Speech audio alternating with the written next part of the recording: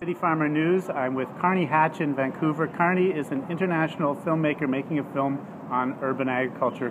Tell me about this uh, person you enjoyed filming. Um, yeah, so in Addis Ababa, there was one young guy that I, I ran into, had an amazing story. His name is Walda and he's a senior in high school. Both of his parents, unfortunately, uh, passed away from AIDS, um, so he's what's called a double AIDS orphan and he got involved in his school garden project, and uh, he's raising money from selling the produce to teachers and just people that pass by his school in the afternoons. And he uses the money, believe it or not, to buy batteries for his uh, flashlight so that he can study. Because since uh, Addis Ababa is near the equator, it basically gets dark at six or six thirty every single night. So if he wants to study after six, he has to have light and he, where he's staying doesn't have electricity.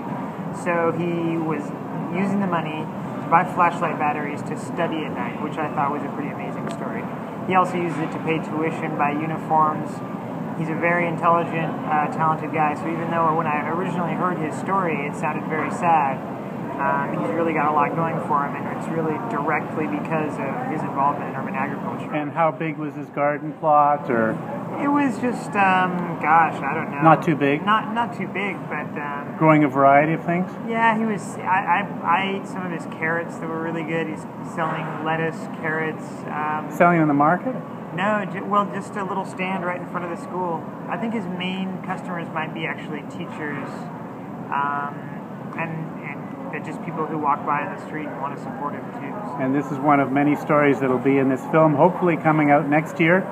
No hopefully title yet? June or July. No, it has a title. Plant this movie. Excellent. Plant this movie. Well, thank you so much. Yep.